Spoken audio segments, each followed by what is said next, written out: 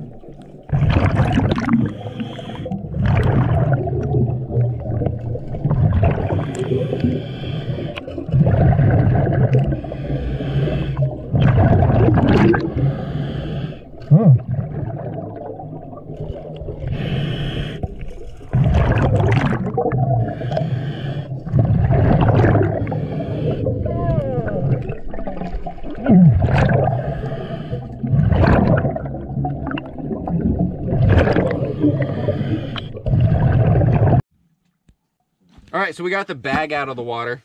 This is pretty mysterious. Let's open it up and see what we got.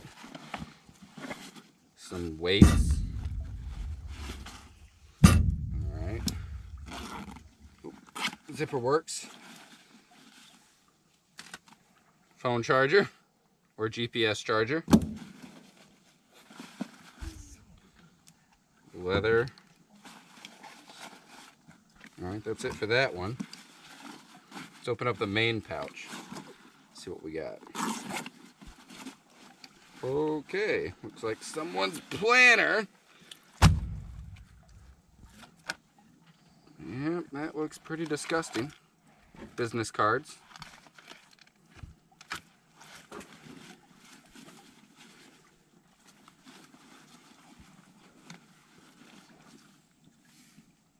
Little cassette tape, in case you want to watch it.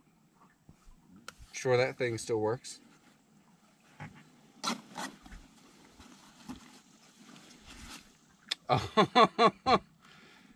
Oh, here's the driver's license and some credit cards. All right, corporate cards and all kinds of other stuff. All right, well, I have his driver's license, so we can definitely get a hold of him. See if he wants this back. Oh, sweet.